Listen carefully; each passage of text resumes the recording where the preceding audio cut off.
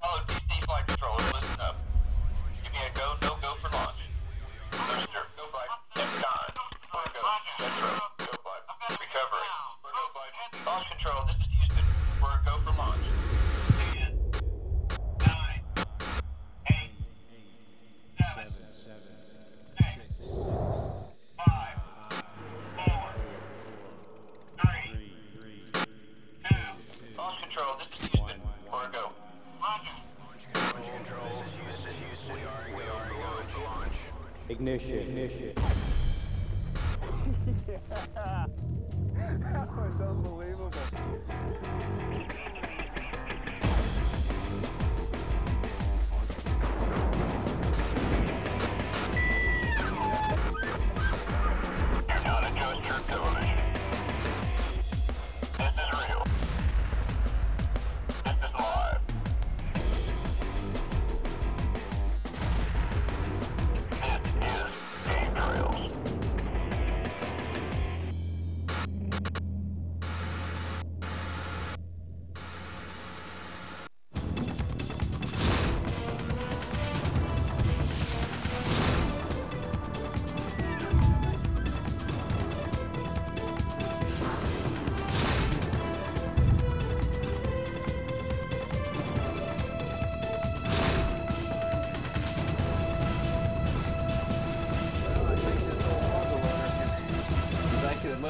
Muzzleloader can outdo this one right here? Uh, well, you know, it's the same barrel.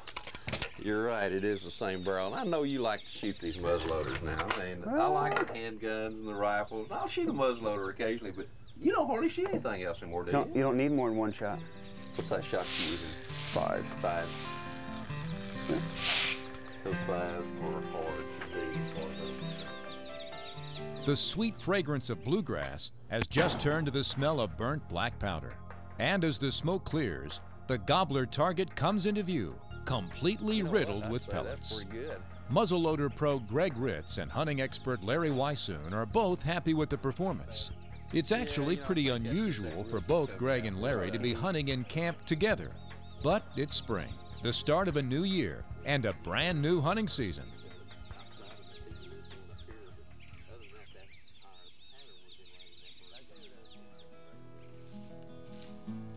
Larry and Greg are great friends and began hunting together several years ago.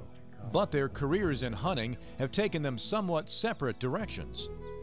Well, like a spring turkey hunting. You're not spring turkey hunting, you're deer hunting. I know. You're right. Would you look at this? One of the advantages of spring turkey hunting, or one of the things I like to do, is you know scout good deer hunting territory. You know, when you get on a bird and you walk and call, walk and call, or sometimes if a bird gets moving, it'll take you in an area sometimes you never thought about going to set up to whitetail hunt. And it's kind of a real therapy for me, just kind of walking around, uh, looking at the new growth, you know, smelling the, the smells of spring. It just brings that you back, eh, your whole life back into focus. I like those big tracks. It's amazing how guys who live so far apart and come from such different backgrounds can become such close friends. Larry Weishuhn grew up in the land of stickers and cactus briars. Uvalde County, located in southwest Texas, covers 1,588 square miles of prime mega buck real estate. And to any youngster exploring the Mesquite along the Nueces River, the desire to be close to nature consumes everyday life. A desire that continues to this day. I'm often asked, you know, you've been hunting a long time. When did you start hunting? I don't remember. I'll be very honest. I do not remember. I started hunting with my dad and granddad when I was still in diapers. My dad ran coon hounds, so during the night he'd pack me up and we'd follow the coon hounds and listen to the hounds. That's what I kind of grew up into, and beyond that, it created a situation within me where I knew I wanted, I knew what I wanted to do in life, and I knew the only way that I could do it, as much as I hated school, thought I'd died and gone to hell from the time I started first grade to the time I got out of college, but I needed that degree in wildlife management from Texas A&M to get into what I wanted to do. Over the years, I've had an opportunity to hunt lots of different species of animals. And a lot of them are fun. But I don't think there's anyone that's more fascinating, more aggravating, more almost any adjective that you can come up with than a white-tailed deer. And he's one of those animals that I have just the very utmost of respect for.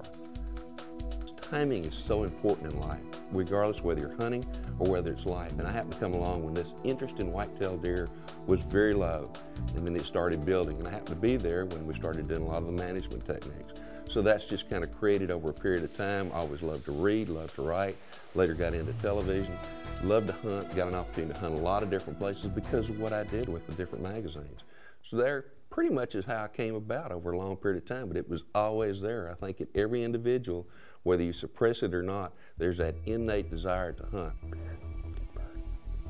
When it comes to rattling in big mature bucks, Larry Weishuhn has earned his PhD in imitating the white-tailed deer.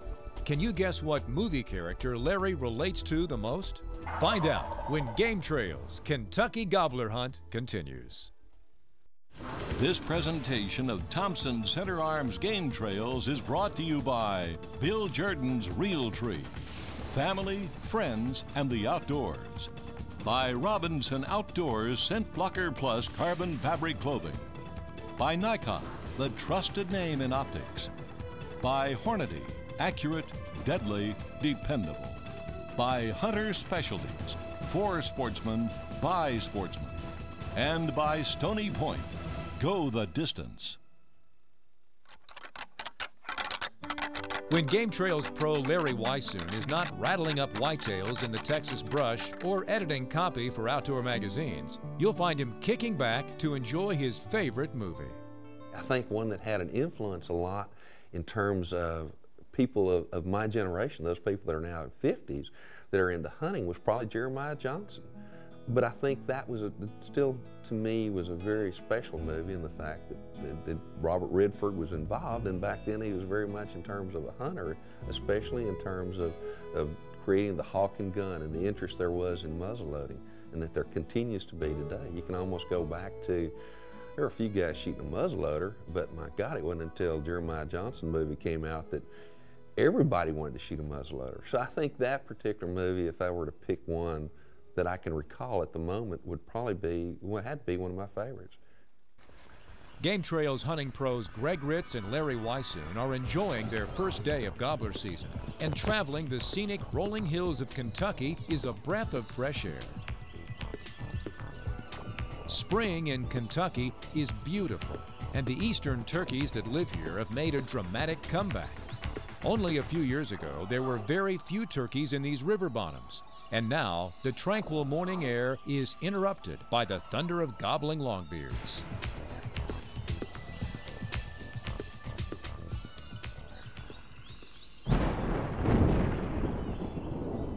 Greg Ritz loves the outdoors. Having grown up in the Northeast where deer and turkey hunting has been a tradition for generations, the opportunities available to a passionate young hunter brought about a love of hunting that would grow with each trip to the woods. I'm 12 years old, and where I was living, I had this vast wilderness to me at that age, a, a reservoir that was bow hunting only. And I got the bug early on in life. Being in the woods, figuring out the strategy, putting the game together. And I was fortunate, only two months into my hunting career, I harvested my first doe. And I mean, it was just a complete rush.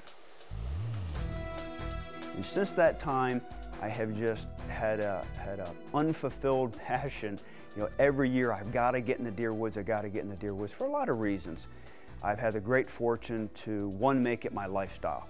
I mean, working for a gun company, being able to give back and enjoy all the stories from the people out there is an exciting opportunity. And two, I've had a chance to hunt all over North America for whitetails, which is a lot of things people don't get a chance to do. So I've really been blessed. But I never forget where I came from and the roots of hunting. And I've learned the persistence and the dedication it takes to hunt big whitetails, and you just don't give up. You go put the time in. Greg Ritz has turned his passion of hunting into a career. When Greg's not in the field, he's in the factory, working on improving the performance of muzzle-loading guns at the Thompson Center Arms Foundry in Rochester, New Hampshire. It's here that the Hawken guns were built for the Jeremiah Johnson movie. and where the highest quality muzzle loaders in the world are cut from a billet of hardened steel. Designed by expert craftsmen, tooled by professional die cutters, assembled by hunters, and field tested by Greg Ritz.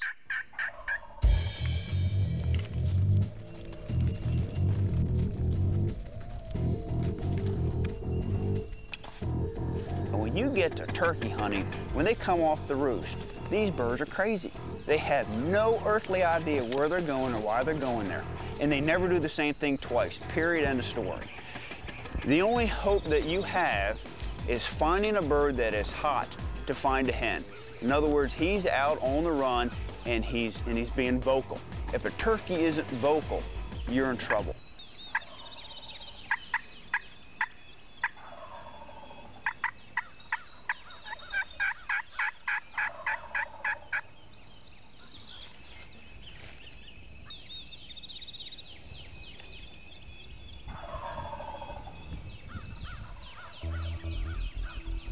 During the day of Jeremiah Johnson, his 50 caliber Hawkins muzzleloader depended upon flint to ignite the powder and fire the projectile downrange.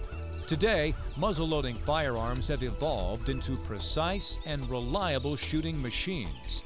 Muzzleloading pro Greg Ritz shares his passion for the sport when Game Trails Kentucky Turkey Hunt continues.